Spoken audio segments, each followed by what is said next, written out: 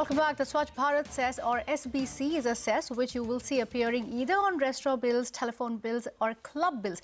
Now this cess was levied from November 2015 to ramp up toilet construction nationwide and nearly 16 million toilets were constructed over the last two years alone.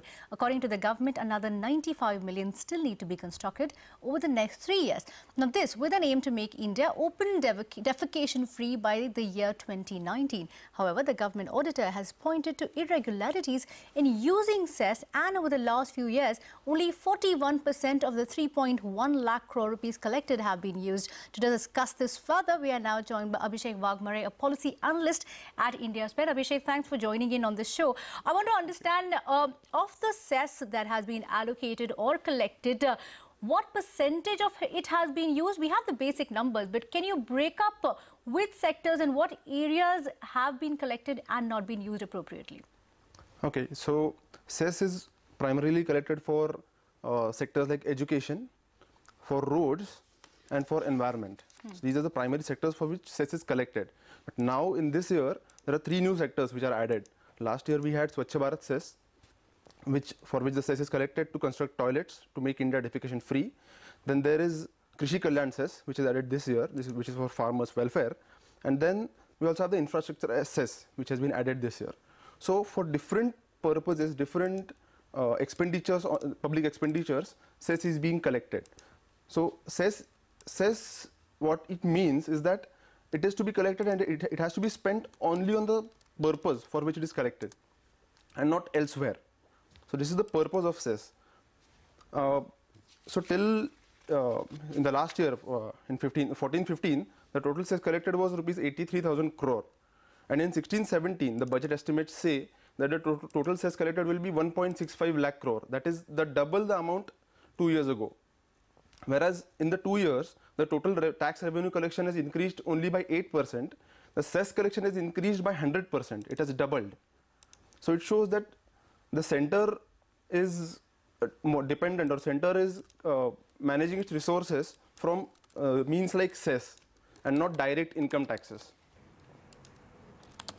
Yeah, you're right, Abhishek, there. And the reason why the center chooses the cess route is because it doesn't have to share that revenue uh, with state governments. But Abhishek, you know, on the back of the data that India Spend has, uh, has analyzed, and of course the CAG report as well, where are you seeing the most discrepancy where cess has actually been collected but large amounts of money remain unutilized? I'm just taking a look at some of the heads. Uh, and I think in terms of primary education cess, there I think uh, uh, the uh, collected amount and the unutilized unutilized amount, uh, the, actually the unutilized amount is not as bad, but where are you actually seeing uh, a lot of the discrepancies? It is, in the, it is in the secondary education.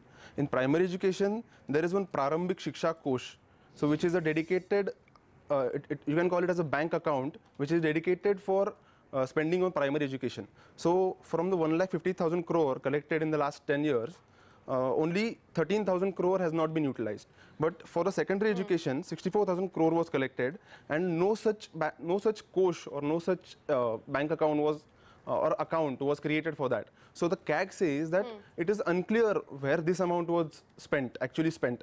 And the CAG says that the possibility of the diversion of funds for purposes not mandated under the Act or Finance Act cannot mm. be ruled out. So the CAG says that the it cannot be ruled out that this cess or this amount has been utilized elsewhere by the finance ministry hmm. other than secondary education. So there's also. Are they saying that about any other of the cesses as well, Abhishek? Because this is what you are pointing out as far as the secondary education cess right. is concerned. Has this concern been raised by the central auditor on any of the other cesses collected? Yes, there's a clean environment cess. Uh, there is the research and development fund, which is which was being collected since 1998 so uh, then again there is the Universal Service Obligation Fund. Uh, the, the, this cess is collected to uh, to ramp up communication services in rural areas. Yeah. So, so the CAG also talks about these three cesses which are which have not been utilized fully uh, as much as they are collected. Well, you're absolutely right. India is not just stressed out, it's also cessed out. And this is the question Right. that we were asking the finance ministry and the finance minister th- this budget as well that, you know, why do we need another bunch of cesses? And that's exactly what we're having to deal with. And of course, the big question is proper utilization. One doesn't mind paying, but the question is, are those funds even being utilized for the purpose for which they're being Exactly. collected? But Abhishek, uh, thank you very much for joining us here and taking us through the data that's been put together by India Spend uh, on the back of the reports that have come in from the CAG and other sources.